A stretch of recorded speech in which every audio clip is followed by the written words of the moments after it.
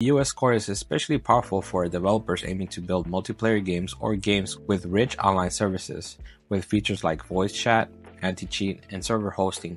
It's a comprehensive solution for online functionality, but what truly sets it apart is the active community and support system. Having someone respond to your questions in minutes can save hours or even days of frustration.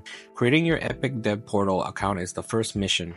After signing up, start by creating your product or page.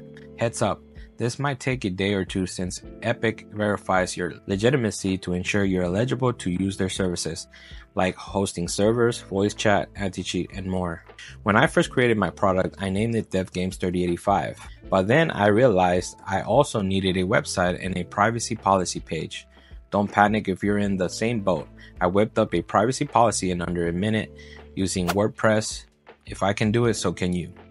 Next, you'll need to verify your domain by adding a text file that Epic provides to your DNS. Sounds techy, but it's easier than it sounds. If you're using HostGator like me, their customer support is super helpful. Just send them the text file Epic gives you and they'll handle the rest. Don't be afraid to ask your web provider if they offer customer support. If your domain gets rejected, double check your DNS setup. It's common to miss a small step, but hosting support teams are there to help. Once your domain is verified, update your dev portal with the privacy policy URL, domain, and a logo for your product. Then submit it for review. While waiting, you can prepare other aspects of your project like game assets or blueprints. It's a great time to multitask. I recommend keeping a checklist for tasks like these. It's easier to forget smaller steps like uploading your logo or checking the URL are working properly. If this tutorial is helping you so far, let me know in the comment. What's been the trickiest part of setting up EOS for you? i love to hear your experiences. While you're at it, don't forget to like and subscribe. Subscribing ensures you won't miss any future tutorials packed with tips to level up your Unreal Engine projects. Sometimes submissions get rejected.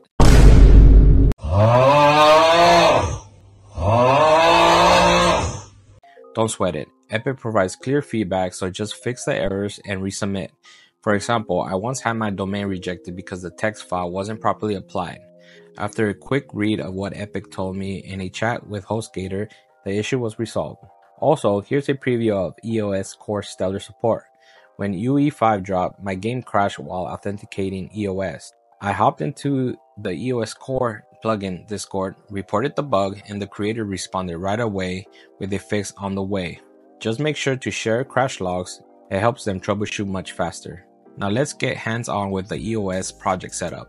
Start by creating a new project and enabling the EOS Core plugin in your project settings. Disable any other EOS plugins to avoid conflicts. EOS Core will even alert you if there's any issues. Navigate to your project folder, open the default engine.ini file in the config folder, and paste the EOS settings provided by the EOS Core documentation website.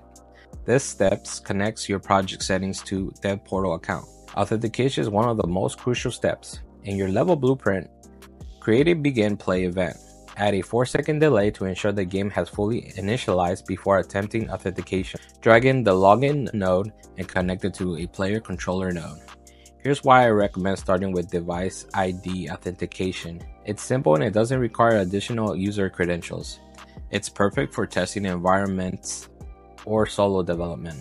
You can easily expand other methods like Epic or Steam accounts later. To set this up, leave the password field blank, but make sure to add a username. Use a callback event to handle the login response. Add print string nodes to debug and confirm whether the login was successful or there were errors. Pro tip always test authentication in different environments like client mode and listen server mode. I initially had issues because I forgot to restart the project after editing the default engine INI file. Now that you got EOS set up and authentication working, you're ready to create server sessions, find servers, and unlock the full potential of EOS Core. I'm even planning to create a dedicated tutorial on how to set up servers and find them using EOS. If that's something you'd like to see, let me know in the comments below. If you're looking to step up your multiplayer game development, click the video to the right for 5 essential tips to get started with multiplayer in Unreal Engine.